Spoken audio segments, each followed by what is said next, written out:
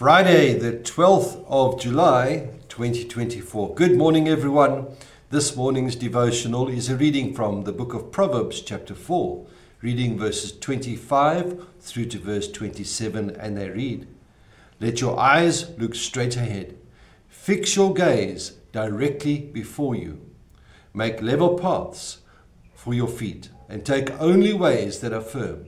Do not swerve to the right or to the left Keep your foot from evil. The saying goes, those who cannot remember the past are doomed to repeat it. That's very true, but that's also only part of the story. You can learn a lot by looking at your past, but you cannot heal those most pervasive and costly wounds in your life by focusing only on your past. To defeat those giants, you have to look ahead. All too often, we try to find healing by looking in our rear view mirrors. When we do that, we're more likely to crash than heal.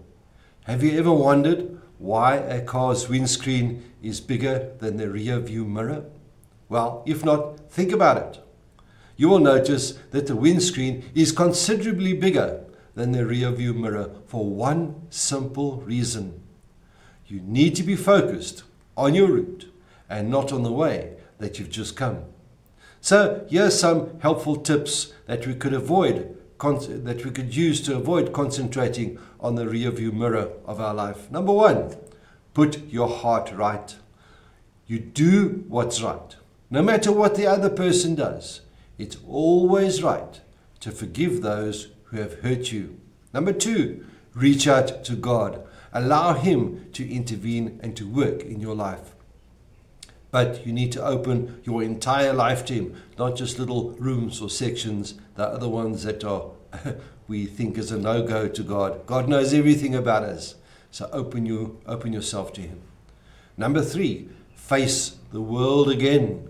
Don't hide in a shell or withdraw so that you won't get hurt again. Move forward. Learn to live again. Your past is not your future. It doesn't matter what you've done or who you've done it with, or even how long you've done it. Throughout Scripture, God forgives murderers and adulterers, and He uses them to do His work in the world. My dear friends, you have a great future ahead of you. Put your heart right, reach out to God, and face the world again. And then let God do something incredible through you.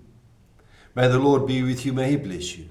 May He cause His face to shine upon you and be with you always. Goodbye.